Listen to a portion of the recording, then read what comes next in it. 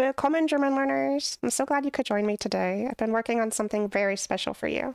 I have a 28 day plan for learning German rapidly. Stick around till the end to find out how you can get your hands on the free 28 day plan. The plan goes day by day for 28 days on all the topics that you need to learn in the German language. I've also carefully curated a list of German resources that are going to help you learn the German language. A lot of the resources are from academic sources like universities, and places that I know are really good to learn German. So if you're ready to embark on a new language learning journey, stick around and watch today's video.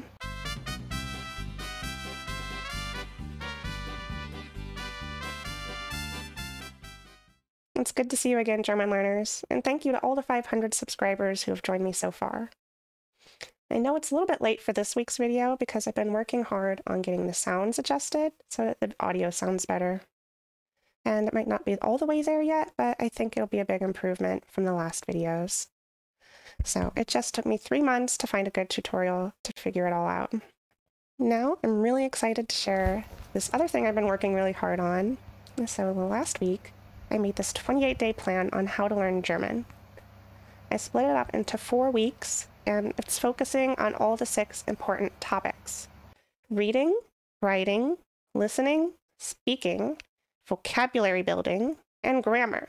These are the six core competencies that you need to focus on to learn German.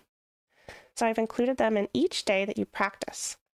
Now, to learn German in 28 days is not easy. This is going to take a lot of hard work. But for example, if you're going to study in the fall and you'd like to skip that first year of a language requirement, this could be the way to do it. It's also possible to break up this 28 day plan into three months or six months or a year for whatever time it, amount it takes you. Don't feel that you have to rush to learn German in 28 days. It's possible, but it's not a necessity. Also, might consider changing this up, adapting it to your pace and how much time you have to learn every day. After 28 days, you'll be proficient in the basics, which is like an A1 level. You won't know every single thing because it is a huge task to learn a language in 28 days, but you'll have almost all of the important things you need to start speaking and using the language. So you'll reach an A1 level by the end of the month, and then you'll be able to test your knowledge. So in these carefully curated resources throughout the 28 days, I'm trying to create an immersive process for you so that you feel like you're completely immersed in the language. You'll need to spend two, three, maybe four hours a day learning, and there will be a full immersion day where you experience virtual German tours and things that deepen your cultural knowledge of German as well. Once you get into the flow of learning, I would recommend printing out long vocabulary lists of 100 or 200 words at a time. And instead of focusing on memorizing every individual word, I'd like you just to read through this list every single day. Repetition is what's going to help these words stick. An even better idea is to read the German texts. You can read German children's books or start with simple German texts for beginning learners or whatever your level might be. Start with texts that are appropriate to your level, and this will help you build more vocabulary as well. Then you're also going to be looking for German podcasts and videos that you enjoy listening to. It could be German movies or music as well. You want to personalize this study plan to revolve around your interests and hobbies and things that you enjoy. You don't want language learning to be a chore. I also have a list of German movies with subtitles that you can watch for free on YouTube. So you can use this playlist of German movies with subtitles when you're in the beginning phases trying to understand and practice listening comprehension. Then, as you get a little more advanced, you can try turning off the subtitles and see how much you can understand without them. It's a little bit more of a challenge. And one of the most important things you're going to need for this 28 day plan is a language exchange platform something like Tandem. You can use any of them, really. The important thing is to find someone who speaks German as a native speaker. They're interested in learning your language, which may be English or something else. And you practice speaking each other's languages. And so you can get corrections from each other, your native speakers, so you know exactly how the grammar and vocabulary is supposed to go. And just finding a native speaker is going to be maybe one of the most challenging aspects of this plan, but also going to help you progress the most. There's also a German dictionary and German translation tool that might come in handy. I've included links to those. Then there's a long list of German texts, mostly from the Gutenberg project, that you can go and look through. You can read them or print them out, however you like to read. Some people don't like to read on the screen, so you can print them out. And I have a link to a German pronunciation checker. You want to know if you're pronouncing the words correctly or not. So that's where the German pronunciation checker will come in handy. You can check your pronunciation and it will give you instant feedback if you're pronouncing the word correctly. And finally, you'll find some links to online quizzes from the DW, Deutsche Welle. You can test your German and get a kind of placement for what level you are. You can take these quizzes on German proficiency before you start learning if you already have a little bit of German experience. Or you might just wait until the end if you're starting from zero and, and you know you already don't know any German. Now, let's talk about these six core competencies in German. Let's look at reading. This is one of the most fundamental skills you'll need. Reading will help you comprehend written texts, and it's a big section of any German proficiency test. But reading German texts will deepen your vocabulary, and it will deepen your understanding of German culture and language. So by finding different German reading materials, those could be articles online, books, blog posts. Let's say, for example, you're interested in the topic of pets. Why not search for pets in German on Google and see what kind of German blog articles about that topic interest you? Another benefit of reading in German is that it helps familiarize you with different writing styles and different kinds of sentence structures, so that will come in very useful. Another important competency is writing. So when you're learning a new language, writing is going to be very important. It might seem like you can just type things down on your phone or use the autocorrect for whatever you want to write. But writing things down with a good old fashioned pen and paper is more beneficial. Because when you write things with your hands, you create different kinds of memories, and you don't have an autocorrect to rely on. So, always good to write down German sentences, get maybe a notebook, and at first, you can just copy sentences that you see. You don't have to try to write sentences when you don't know how. Just see sentences, simple ones, write them down. Noun, verb, object. Like, ich gehe schwimmen. Ich schlafe um acht. Ich gehe zur Arbeit. And just start with simple things. Writing is going to help you remember how to spell, pronounce, and help you remember all those words. So after writing simple sentences, you might progress to writing some essays or articles in German, just a few hundred words, nothing super long. You might even consider some journal entries in German. Anything you can do to think and write in German more often is going to help you become proficient faster. Another core competency is listening. This can be one of the most difficult things. It's easy to see a word written on paper and write it down and kind of figure out what it means. But when you're listening, you only have one chance to hear something. And if you didn't catch it, then you might not understand the sentences. So be sure that you're practicing listening either through German podcasts, German TV shows and movies, or anything in German you want to listen to. Your tandem language speaking partner, listen to them. And when you practice your German listening skills, it helps you recognize different accents. And so if you listen to Swiss German, it would sound completely different than if you're listening to German from Germany. So you might try listening to different German accents and see if you can understand them. Always helps to engage in real life interactions wherever possible. So that again is where I would recommend finding websites in German to practice what you're learning. Speaking is another core competency that can be one of the most intimidating. Many language learners are too shy to speak at first and have trouble overcoming this fear of not saying something correctly. But you're going to have to embrace the feeling of making mistakes and get over the fear of speaking. You can practice speaking by yourself and using a pronunciation checker to see how you're doing. Once you feel confident enough, try with a native speaker someone who doesn't speak your language very well either, and you'll both be on an even playing field. This opportunity to practice pronunciation is so important. It's going to help you enhance your grasp of grammar, and it's going to force you to have to recall vocabulary. You're developing the ability to express yourself clearly and your pronunciation at the same time. So, speaking in the language you want to learn has got to be one of the most important steps. Don't miss this step. Then we have vocabulary. It's important to build your vocabulary when you're learning a new language. And in order to build your vocabulary effectively, you'll need to learn how to pronounce the sounds. Because when you don't know how the words sound, it's going to be very difficult to remember them. So be sure that you know how a word is pronounced when you learn it and know how it's written.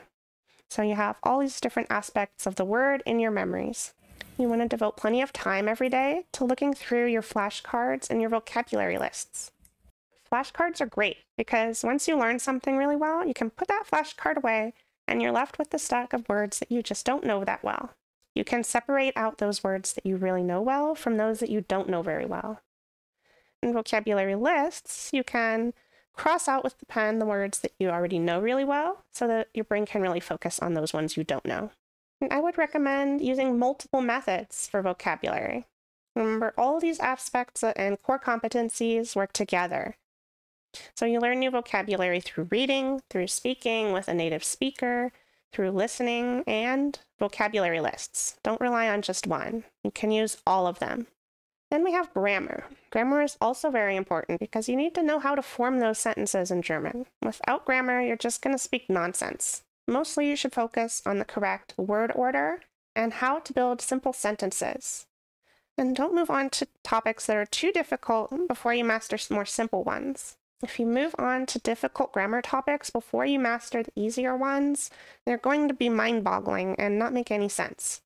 So make sure you learn the grammar topics in order so that you have an easy transition from one topic to the next, building upon each layer as you build your competency. And for a well balanced study plan, you want to include all these six core competencies into what you're doing. You also want to have regular and consistent practice. Remember that language learning is an ongoing journey and that every day brings new possibilities for practice. You want to embrace the journey, stay motivated, and enjoy the rewarding experience of learning a language.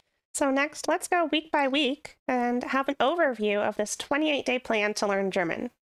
Remember, you can break this up into three months, six months, or whatever pace fits your needs.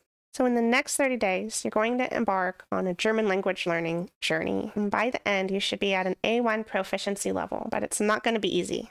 By the end, you'll wield the power to effortlessly utter simple phrases, comprehend basic speech, and establish a rock solid foundation in grammar. So, the first day kicks things off with pronunciation.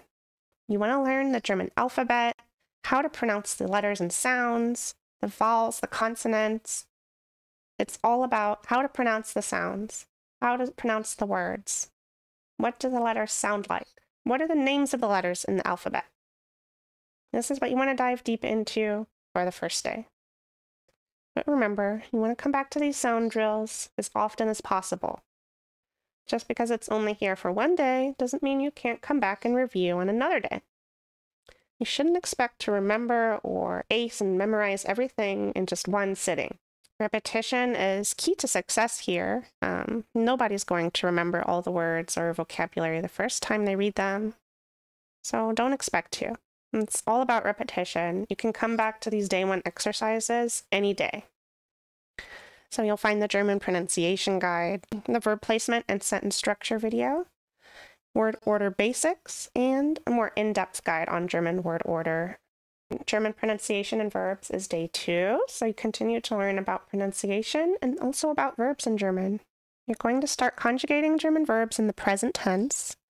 And let's start with regular verbs and move on to irregular verbs once you know the regular rules. You also want to work on your vocabulary. So, as much time as you have, you might start with German words that are the same in English and German words that are almost the same in German and English. I would recommend these since you can instantly build your vocabulary with hundreds of words that you already know. You can get hundreds of free printable German flashcards at this resource here. Um, there are tons of resources in this book where you can just click on the link and you can go and print out the flashcards for free. I don't have any sources on the list for paid things, so this is all for free that you can download. Of course, if you want to buy a German book or you want to buy grammar aid or something else that's going to help you along the way, you can do that too. But you can also learn German just using all these free resources. You don't have to pay for anything. What else will you learn in the first week? You'll learn how to form questions in German, how to form negative statements, what are the pronouns in German? Ich, du, er, sie, es, wir, ihr, sie. So you want to learn these pronouns, how to use them. Then you'll learn different greetings, how to count, the different numbers in German, and basic overview of the tenses. What are the tenses? What are the cases? How do they work? There are some activities to do German greetings, and we can go through those. You're also going to practice listening and speaking skills in the first week. You can already start looking for a tandem language learning partner, or you can wait until week two when you feel like you have a little bit of a foundation to get started. If you're starting from zero, you might want to have a little bit of vocabulary and at least know some greetings before you look for a language learning partner in German.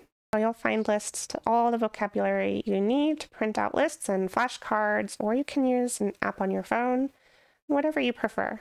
Then in week two, it's all about building a more solid foundation. So you were introduced to all the basics in the first week, and the second week, we're going to dive a little bit deeper into that foundation.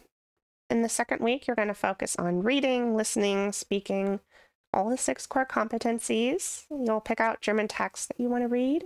You'll pick out videos that you want to watch, and you'll find that tandem language partner through whatever app. So you could use Tandem, Idioma, Speaky. I'm honestly not sure which one is the best, but you can choose any of them. And if you're already living in Germany, then just speak to German people. Like when you go out and go to the supermarket, go to a restaurant, you're already going to get so many opportunities to speak and listen. So it's going to be even easier to find someone to speak with. Then you won't need these apps. There's also going to be a lot of review of the vocabulary learned in week one. And you're going to learn about prepositions, and, and then you're going to dive into different grammar topics like comparative and superlative form. Also going to be introduced to adjective endings, which is a difficult topic in German. And you're going to be exploring some German customs and German culture. So that will be a fun opportunity to do some virtual tours or visit some virtual German exhibits if you don't live in Germany. If you live in Germany, you can go ahead and visit those things in person. And there's also some suggestions for German music and the World Culture Encyclopedia has lots of information that you can use to learn about German. Week three is all about mastering those basics that you've been studying so far. So you're going to build your vocabulary and learn new grammar, separable verbs, and start in the accusative case. Once you go through these grammar topics, you'll get to practice your communication, how to give directions in German, how to use irregular verbs like sein and haben, You'll practice writing and speaking and using reflexive verbs like ich dusche mich, ich rasiere mich, ich wasche mich. And you'll explore some modal verbs können, dürfen, sollen, mögen, möchten. And then by day 19, you'll be ready to go into the German past tenses. You'll learn about the past tenses and how to conjugate verbs in German in the past tense. And you'll deepen your reading comprehension skills with a few reading comprehension tests that I have included. And you'll have a regular German verbs chart to help you remember all the verbs. Regular German verbs chart lists all the irregular German verbs and how to form them in the present and past tenses. You'll continue to learn about German case endings, and you'll find more learning resources for reading. You'll also spend more time speaking and listening and going through all these activities. Week three, there will be an immersive listening and speaking practice day where you can choose a variety of content. It could be a short film, an interview. Day 23, you're going to practice your listening skills and be able to listen to German videos without the subtitles for the first time and challenge your comprehension at this point. And you'll continue diving into a full immersion day with virtual tours and different activities. Day 25 is about writing skills practice. So you'll be able to analyze the writing style, sentence structure, and vocabulary in these texts. And you'll also have some ideas for writing prompts. So there's exercises that you can complete and you might include some indirect speech in German if you're feeling confident at this point. Yeah, and you will continue your proficiency until day 27 when you finally get a break. Um, feel free to take as many rest days as you want in between. Remember, there's no pressure to complete this in 28 days. And then day 28 is when you'll test your knowledge and see how far you've come. By then, you'll have a real foundation in the German language, regardless of how you place on the test. And you can look back and reflect on how far you've come in your language learning journey. At the end of the book, you'll find an index of all the resources. So you can find links to all of those articles and playlists and everything that you need about prepositions, German grammar resources. Oh, yeah, three pages of resources. This blueprint will serve as the foundation for your German language learning journey, and I hope you find it useful. Let me know what you think, German learners. You can download this free book at mygermanizedlife.com. The 43 page book has everything you need with all the links to the resources, so you can learn German in 28 days. I hope that you find this comprehensive guide useful and come back next time for a new German learning lesson. So that was it for today's video, German learners. I hope you enjoy the resource at mygermanizedlife.com.